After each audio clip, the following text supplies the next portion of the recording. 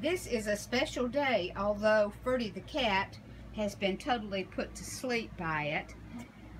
Our uh, homeschool young lady that has been with me as a student since she was about 12 or 13 uh, is leaving for the university and this is her um, final day and she brought these two paintings in today. These were early works that she did in mm -hmm. acrylic.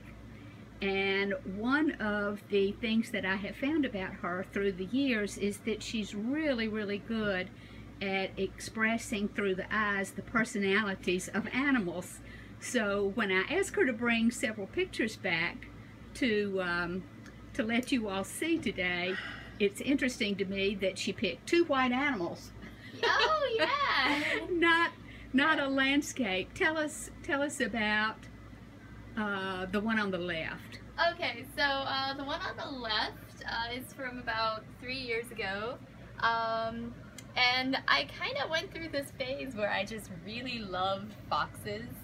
Actually, I still really love foxes, so I just wanted to try painting one, and uh, and you did a good job. Yeah, it was a lot of fun. And butterflies. And butterflies. Yeah, I kind of added the butterflies in towards the end. Um, I don't know exactly where that came from. I just just kind of threw them in there. Just so, did it, yeah, didn't you? it just kind of happened.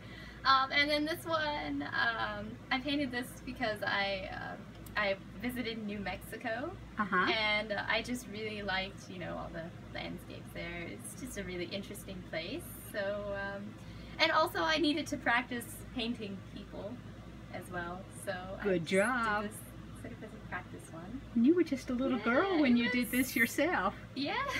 Maybe a little older than this child. A little bit, yeah. So another time we'll have to concentrate on some of your landscapes from your travels. Oh, right. That, so, would, be, that would be You'll have to come back and visit. Oh, definitely. okay. That's that's a promise, I hope. It is. So we're all so proud of you and thrilled about your accomplishments and your change of life. And so uh, good luck to you and come back and see us soon. I will.